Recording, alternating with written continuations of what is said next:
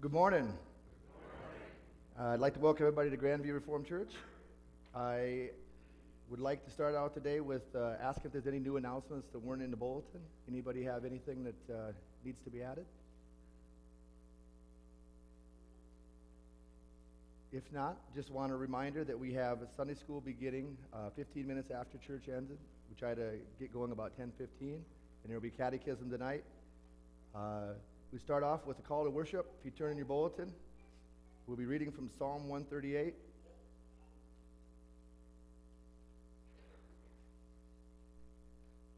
I will praise you, O Lord, with all my heart. Before the gods, I will sing your praise.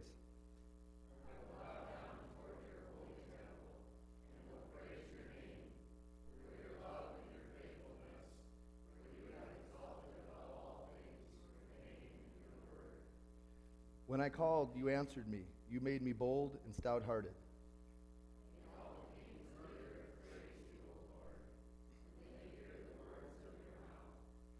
May they sing of the ways of the Lord, for the glory of the Lord is great.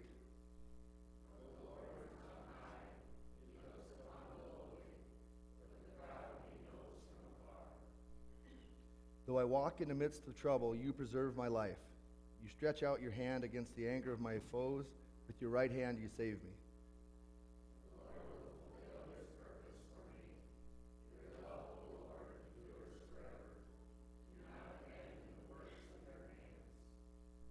Okay, we'll start by singing hymn number 210.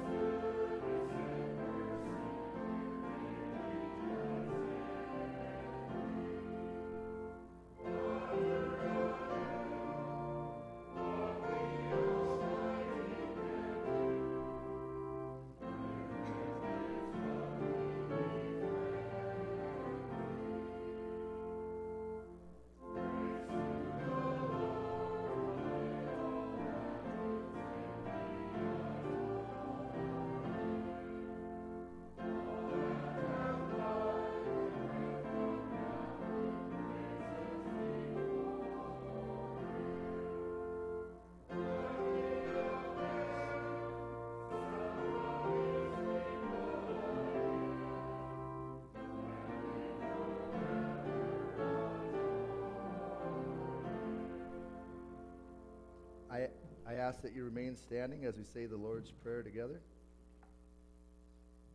Our Father, who art in heaven.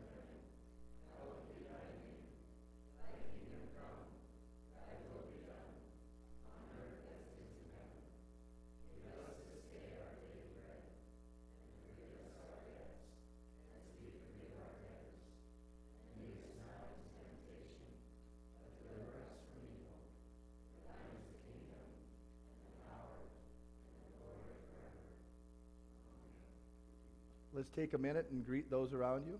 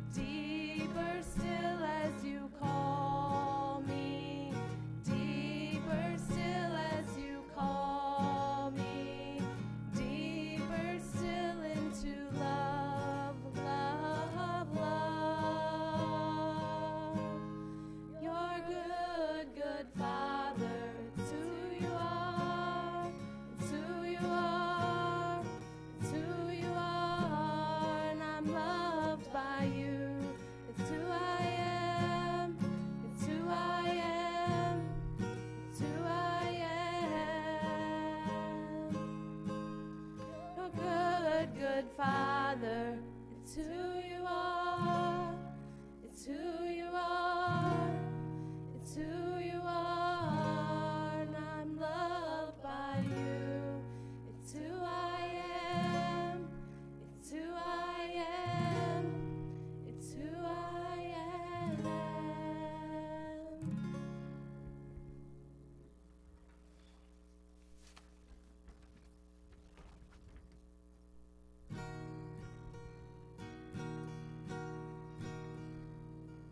stars say.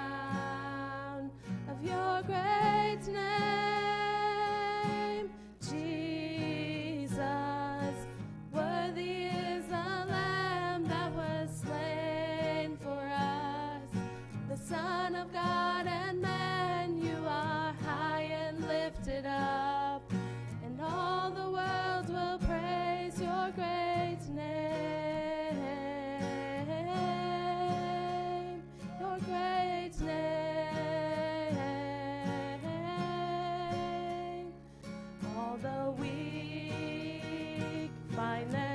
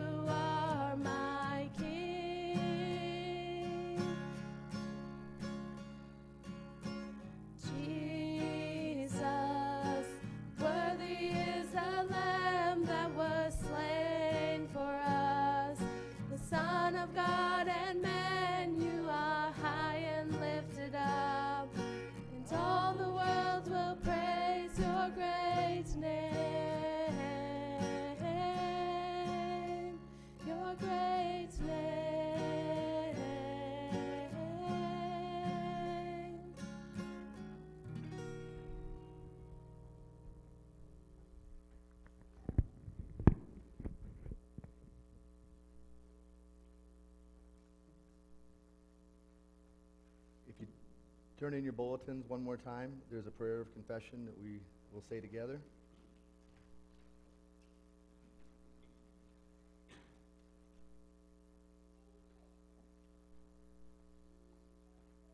We need to confess, God of Abraham and Lazarus, how often you're not content with the simple gifts and lives you offer. Tempted by everything, we can become insensitive to those who have nothing encouraged by the world to accumulate more, to gather goodness and godliness, chasing after all we have not the energy to pursue the faith, the love, the gentleness you have for us. Forgive us, God, of reversals. You have sent the one who speaks the words we need to listen to, to have life. Help us to remember how you've redeemed us. And remembering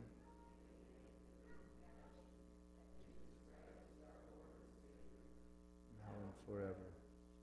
Amen. Okay. Now we'll have some special music by Miriam.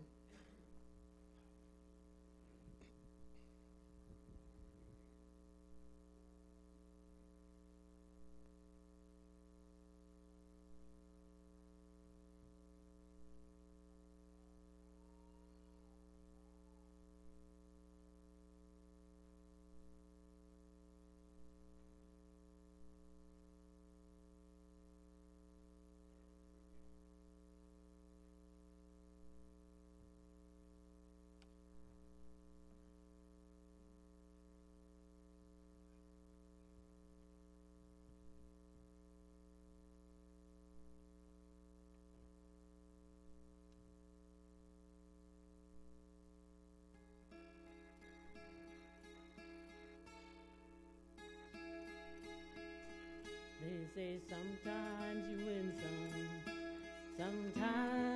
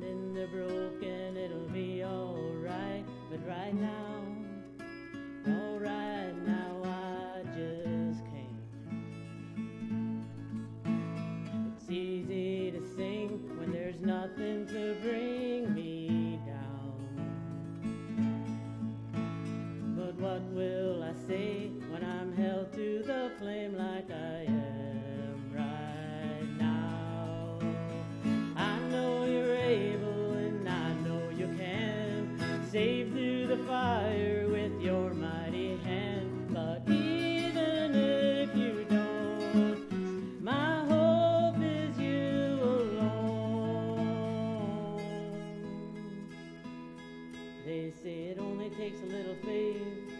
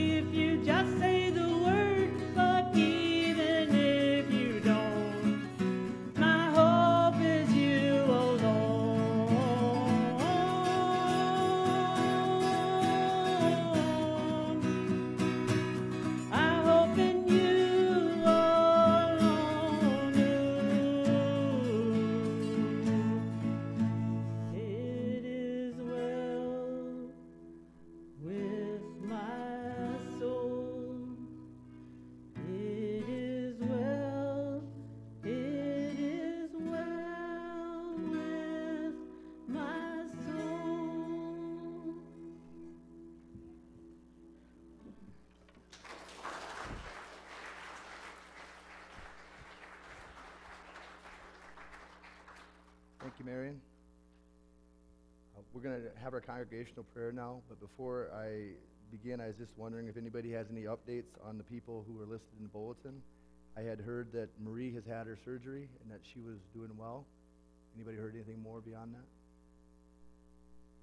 There's some talk that she might even be able to be home sometime soon. Um, and also, uh, I had asked, and they said that Nan is now able to walk without her cane and is doing better, but uh, I didn't hear much more for anyone else. Okay, let's go to prayer.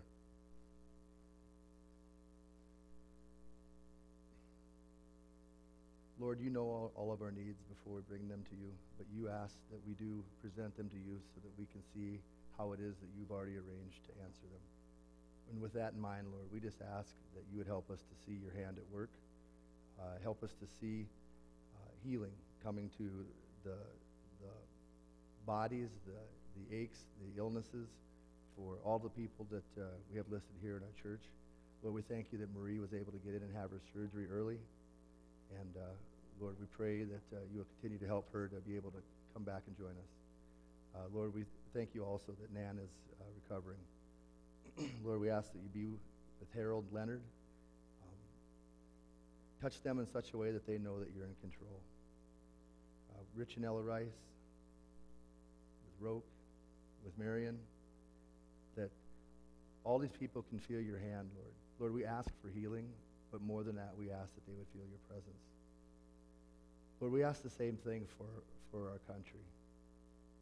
Lord, every time we turn on the news, we see new news of people fighting about one thing or another, and uh,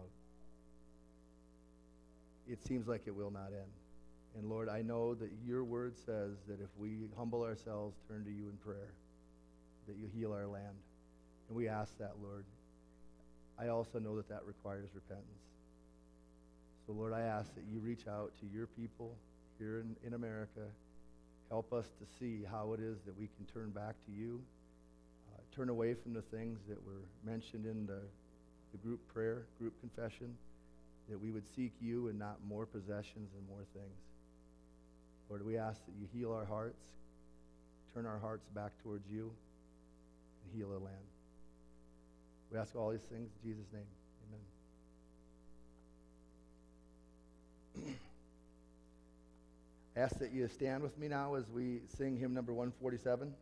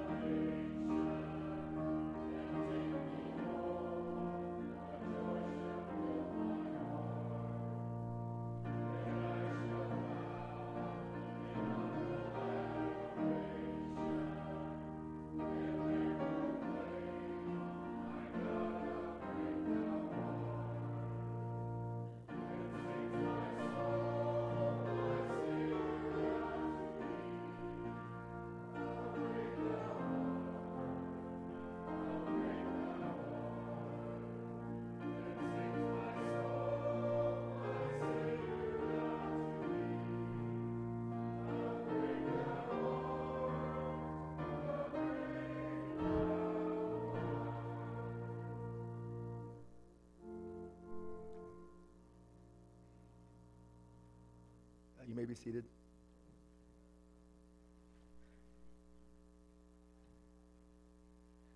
Today I'll be reading from the book of Amos, and I'm going to go out on a limb and guess that that's not something you've all been reading a lot of lately.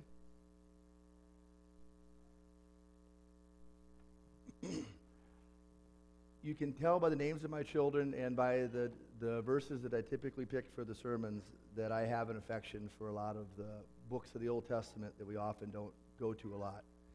And so, with that in mind, I have one of my favorite passages from the Old Testament is Amos chapter 7, verses 10 to 17. Uh, let's read, read together. Then Amaziah, the priest of Bethel, sent a message to Jeroboam, king of Israel.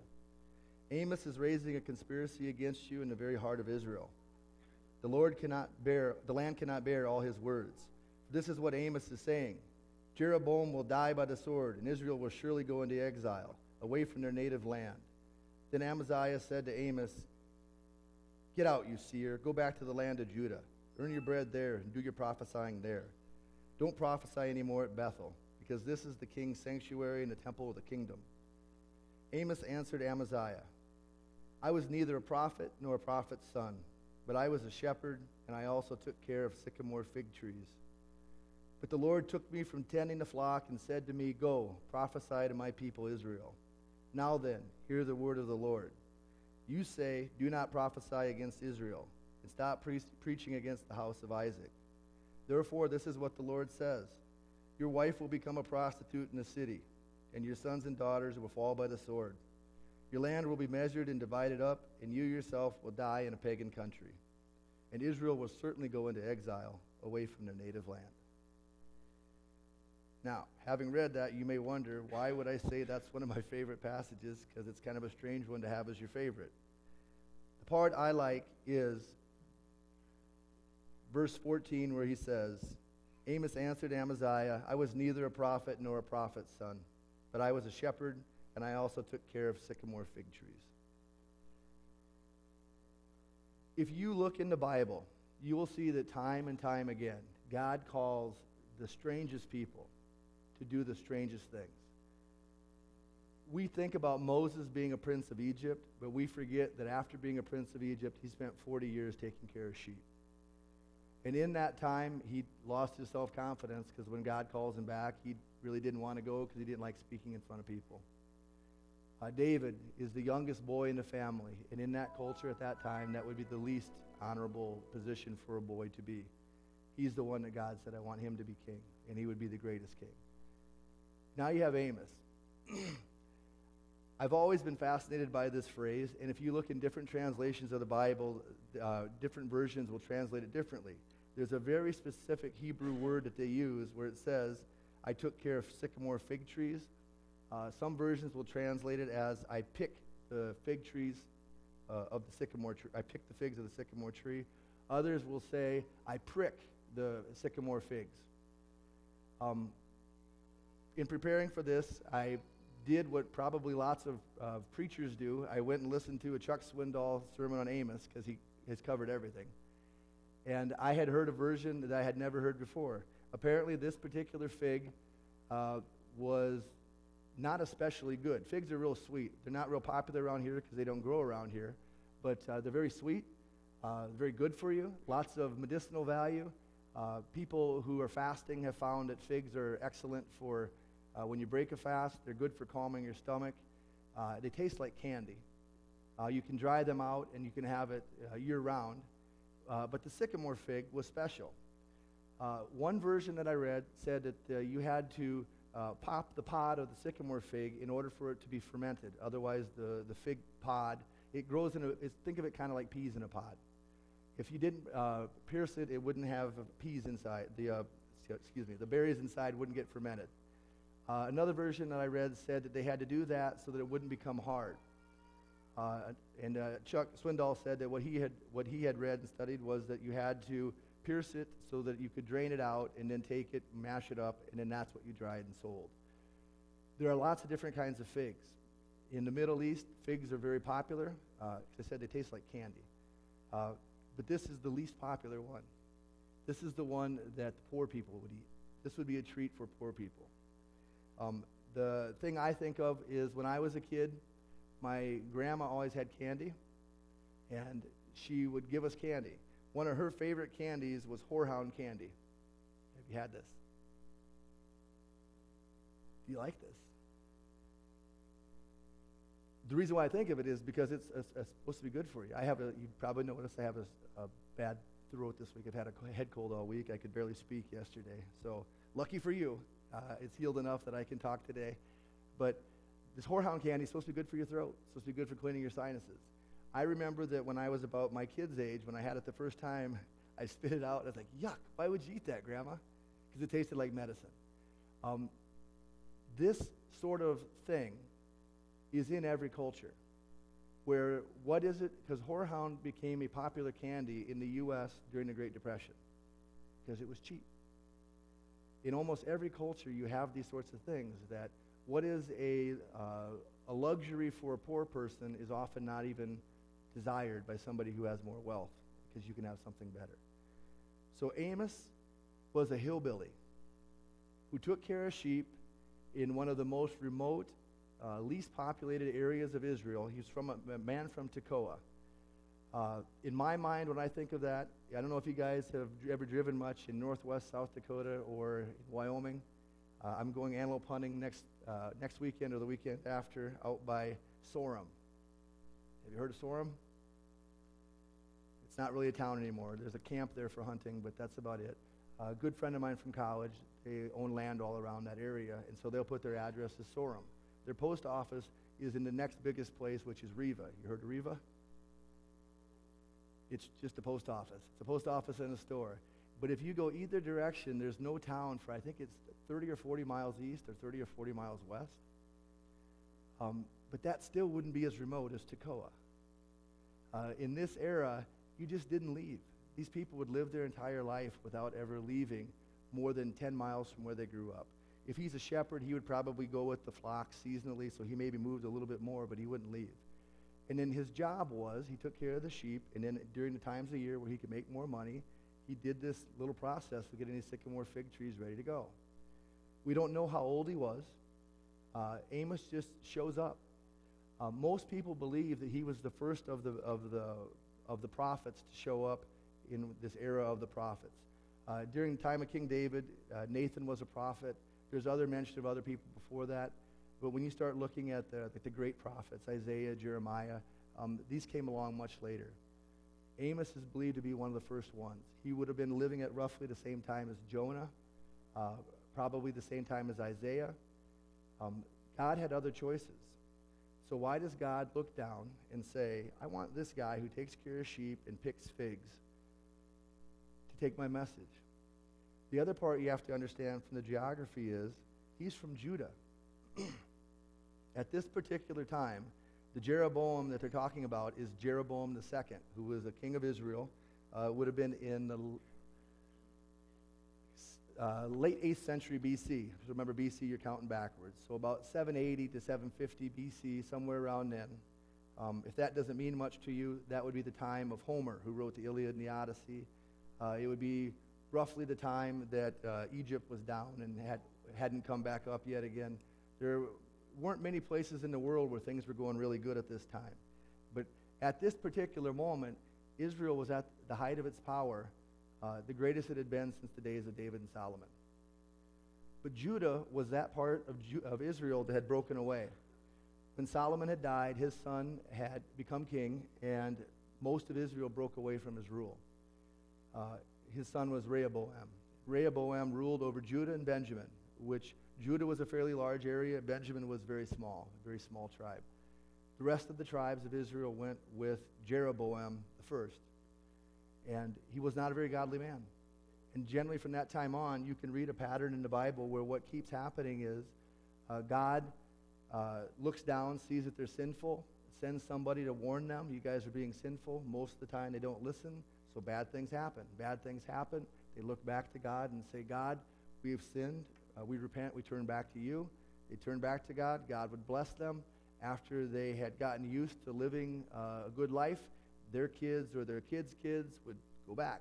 And it just kept happening. And Jeroboam II comes along about 100, 150 years later, And at that time, uh, the last time I spoke, I talked about uh, when Elisha was in Dothan. Well, when Elisha was in Dothan, the king of Syria, which was then called Aram, had come down and surrounded him because they were the great power in the neighborhood. Jeroboam II had conquered Syria. Um, this is a time period where they had the greatest expanse of land that they controlled between the time of King David and, uh, and uh, King Solomon and the present day. So, not only did God call a shepherd and a fig picker to go and take his message, but to the people of Israel, he's basically a backwards cousin. He's kind of a foreigner. So imagine that today, somebody from the most remote parts of Canada decides that they have a message and goes to New York City and Washington, D.C., and begins preaching. And the message is not very pleasant. Basically, God's going to destroy you.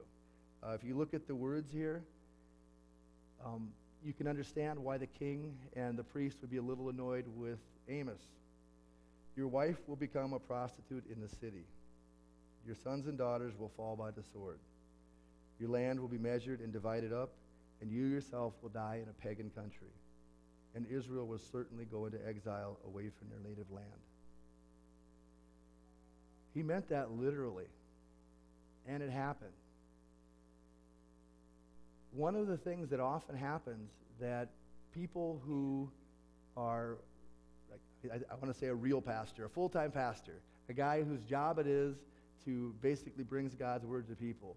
One of the problems with that position is you often have to bring bad news.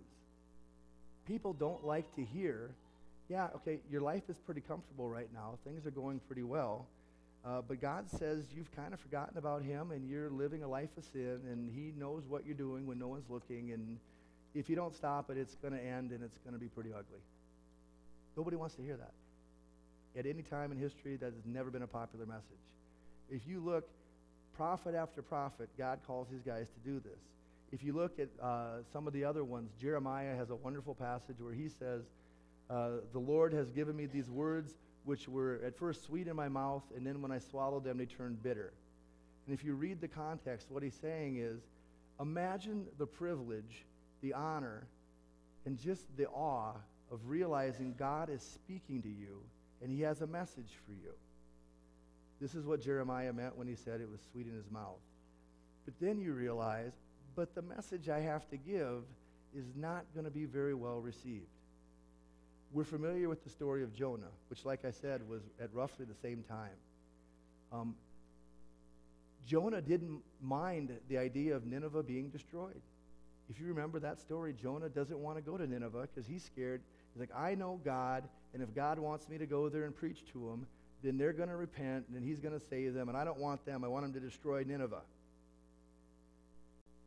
This is a different situation. Judah and Israel are the same people who are separated by basically a fake border. Not, not that different from North and South Korea today, by the way. Um, you have a situation where he's being called to go to his own people and tell them, God says you're going to be destroyed. If you read the context, there is no way that these guys enjoyed what they were saying. And can you imagine what would be the response if, I mean, you see sometimes these people on TV who have these big placards that say something like, the end is near, repent. Um, if you stand in the middle of New York City and start telling people you're living a life of sin, God's going to destroy you. Your wife is going to be a prostitute. Your children are going to be killed in the streets, and you're going to die in a pagan land. A, they'd laugh at you, or B, they'd let you have it. That's what's happening, and that's what keeps happening. And God keeps calling these sorts of people. He keeps calling shepherds and fig pickers to be the guy to go tell the people, you need to change your ways. When you look at Israel at that time, this is the best it had ever been. If you look at the timeline, Jeroboam II was roughly the same amount of time from, his, from when Israel had split to America's founding till now. If you look around America today, we are wealthy. Now, you may not feel personally wealthy. My wife and I have more bills than we have paycheck, but we, we, we're not hurting for things. Uh, even the poor in America usually have a car. Even the poor in America usually have air conditioning. Even the poor in America usually have a closet full of clothes. Poor in this era meant you had one set of clothes. I used to talk about this when I would teach uh, uh, my world history class. What the Industrial Revolution did for health is often o- under, overlooked. We think about all the advances in medicine and all these other things, but two of the things that did more than anything else to make people more healthy first, they had more food. The second was they all of a sudden had extra clothing, which meant they could wash their clothes. Imagine living your life with one pair of clothing that the only way you can wash it is you're going to be naked. So best, uh, bath day and, and laundry day would be the same day. We're talking about that kind of level of poverty, but not in Israel, not at this time. Israel is doing okay. In Israel, uh, if you look back, let's turn back a little bit to uh, chapter 5. In Amos chapter 5,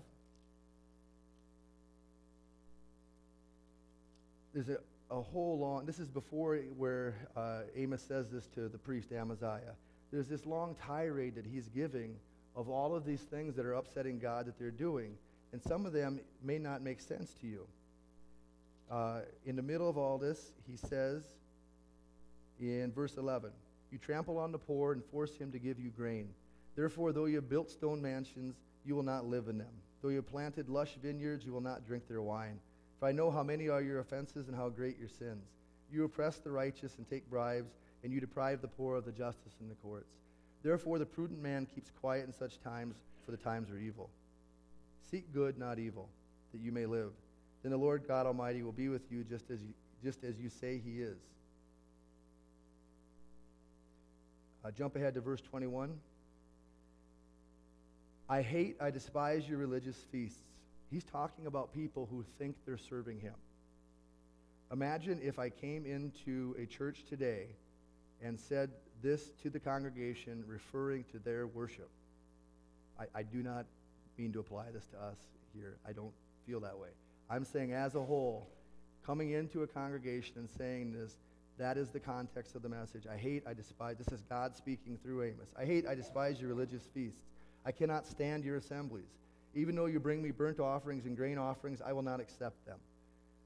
Though you bring choice fellowship offerings, I will have no regard for them. Away with the noise of your songs. I will not listen to the music of your harps, but let justice roll on like a river, righteousness like a never failing stream. Did you bring me sacrifices and offerings 40 years in the desert, O house of Israel? You have lifted up the shrine of your king, the pedestal of your idols, the star of your God, which you made for yourselves. Therefore, I will send you into exile beyond Damascus, says the Lord, whose, God, whose name is God Almighty. what does he mean? I think in America it is very convenient and can even be comfortable to get into the habit of I go to church on Sunday morning, I maybe go to Bible study during the week, uh, my kids are in Sunday school. I do all these things that outwardly are things that you would expect of somebody who is has a vibrant living faith with God. But it is entirely possible to do all those things and to be dead on the inside. Amos is speaking to an entire nation that's living like that. They still have religious services. They still bring offerings. They still make their sacrifices. They play the music.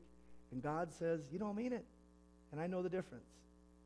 I have blessed you, and you are wealthy, and you have thought that because you're wealthy, you will give back some of these things that I've given to you, and I'll let you have more. And it doesn't work like that. You have trampled on the poor, you have oppressed those who have no power. Uh, elsewhere in many of the prophets, they talk repeatedly about how you've ignored the widow and the orphan.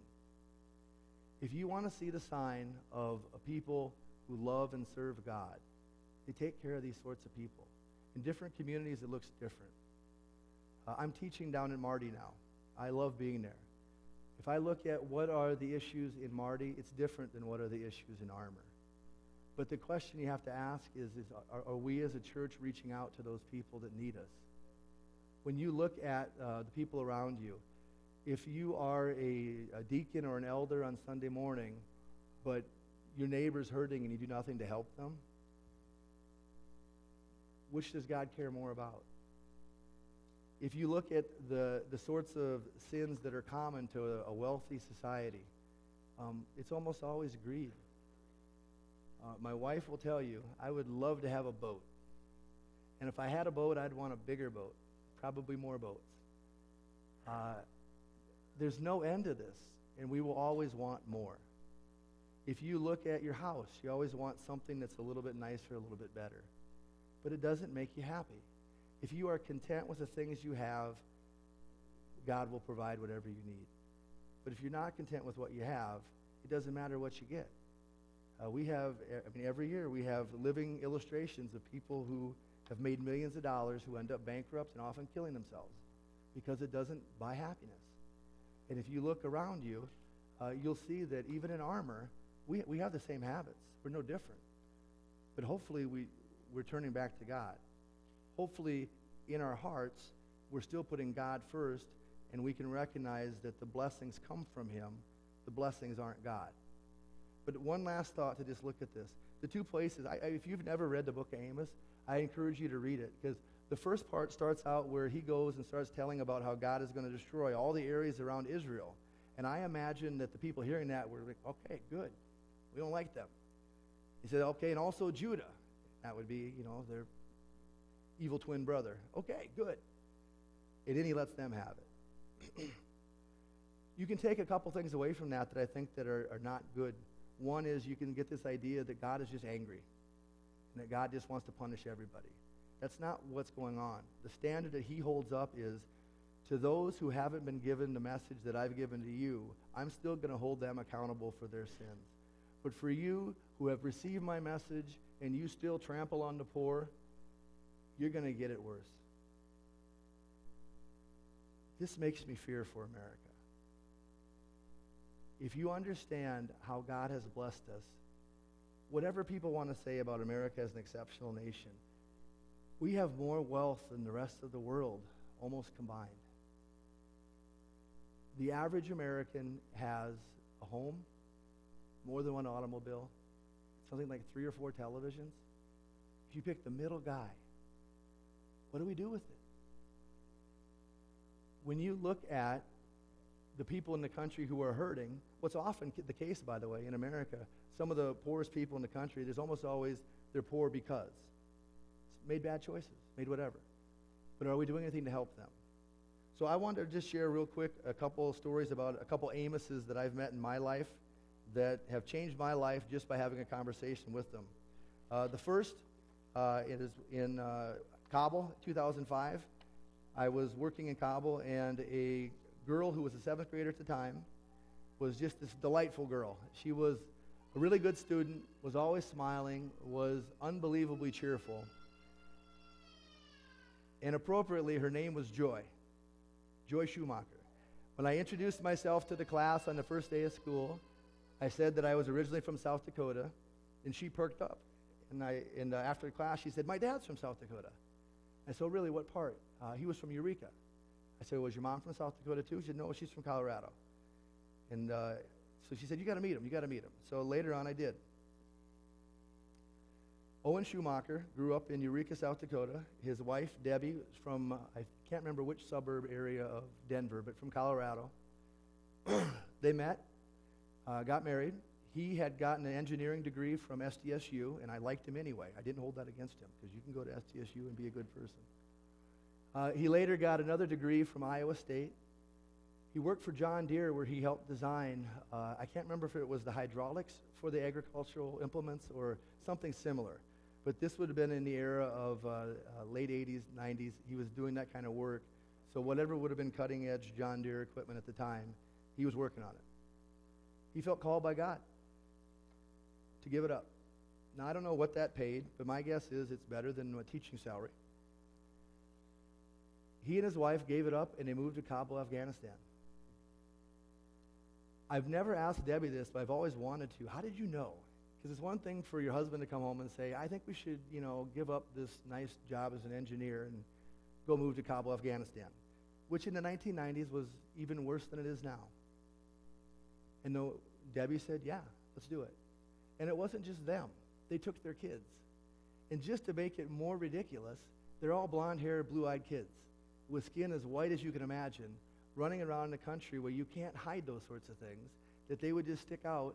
I don't want to say a sore thumb because it would be whatever a healthy thumb looks like, because really good looking kids. But that's a problem because they're foreigners and those kids are now in danger. So Owen Schumacher, Debbie Schumacher moved to Kabul and he's like, okay, now what am I going to do here? He ends up working for a ministry that goes up into the mountains in Afghanistan and brings electricity to places that have never had it. Some place early on, he figured out that what they were doing, he could design something better. And so he designed a little turbine this big that you could put into a mountain stream and would provide enough electricity to give uh, light for 50 houses. His design. He took it to a Chinese company and said, You can sell it, you can have my patent as long as you sell it to us at cost. And I don't remember what the cost was, but it was just a few dollars. So he would take this turbine, he'd go up into the mountains, he would show them how to build a, a, a dam, a spillway, the traces, a powerhouse. They had to build it. And then he would show them how to maintain this turbine. He would bring the wire, show them how to hook up the wire, and then it was their responsibility to keep it going. And when the turbine uh, died, it had, I don't know what the life expectancy was, they had to be setting aside money for the next one. People went from the Stone Age to satellite TV overnight. They had never had power. Now the first thing they bought was light bulbs. They had light. Second thing they bought, television. That's what happens when God calls an Amos. He had an amazing ministry. Everywhere we went, first of all, he learned every language. Everywhere you went, he was, I don't know how many he knew or not, but everywhere we went, he was, I didn't. I was there three years. I could, the greeting takes about two minutes. I couldn't get the greeting down. But he, he was able to speak with anybody he had contact with, was just an amazing human being. And I think his wife, the more, uh, the longer I've been married, I'm more impressed with the wife that she went along with it because I can't imagine how she would agree to it. So that's one. The other one, 1993, I was in inner city Chicago. I had gone there to work with a ministry that did uh, all sorts of programs working with poor people in inner city Chicago. And it was at that time that I first was introduced to this passage in Amos. And they talked about that. They said, you know, if people are, if, if a guy is a drug addict and he's poor, uh, it's one thing to say, well, it's by his choice. It's another thing to look God in the eye and say, God, I couldn't help him because it was his choice. We had all these ministries that were working with all these people in different areas, and they would send us out to different ones. The one that was most wanted was in the west side of Chicago in a community called North Lawndale. I was looking online. It is once again one of the most violent places in America. But they had a church that got started there, and it got started by a soccer coach. Uh, he had gone to Wheaton, became a coach in uh, inner city Chicago, had Bible studies, realized that there was a need for a church. His wife moved into that neighborhood, one of the roughest neighborhoods there. First week they were living there, their house got broken into, everything stolen. And once again, he had to explain to his wife, I'm pretty sure we're supposed to be here. And once again, the wife somehow said, I, don't know about this, but I'll go along with it. Fast forward 15, 20 years later, they built up a church. They built up a medical center because one of the needs that they had was they had no place to go for a doctor. And so they have a medical center where if you can't afford it, they will have you do cleaning. But you, you'll do something for the medical care. Uh, they had a huge basketball court that was also their church service area, and that was where they would have uh, uh, summer leagues. I go to the uh, that I get sent to that ministry to do a summer learning program. While there, I met the pastor who was now the serving pastor. His name was Kerry Casey. He hears I'm from South Dakota. You're from South Dakota? Yeah. You need to talk to Larry Marshall. I said, why is that? He's from South Dakota too. Okay. So uh, they had invited us to come play at their league games. Uh, I think it was a Wednesday night. So I went there. Uh, interestingly, I never actually played. They didn't want to draft the white guy to play. So I sat on the bench and talked to the only other white guy, Larry Marshall. And uh, we were chatting, and I said, I, I told I should ask you about your life story. What can you tell me? He's like, Oh, I don't know. It's no big deal. And I said, Well, well what happened? I heard you were in Africa.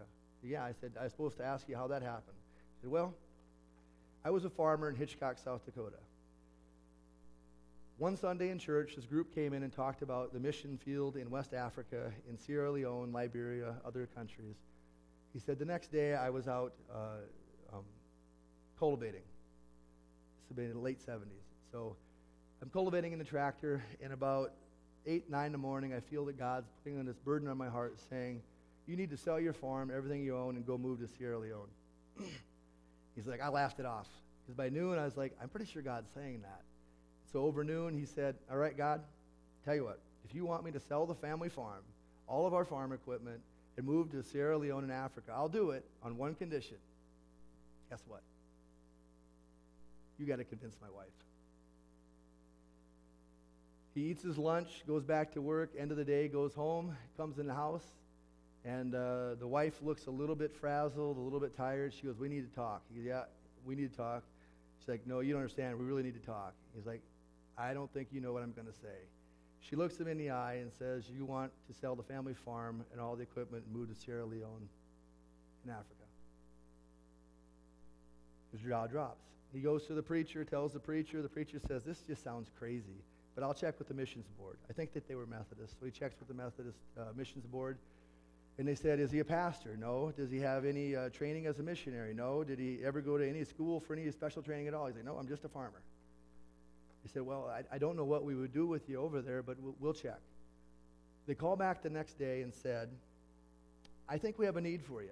We just got a call from our mission agency in Sierra Leone. They said that a whole bunch of farm equipment had just been donated, and they don't have anybody that knows how to run it, and they want to start teaching the locals how to use it so they can be self supporting.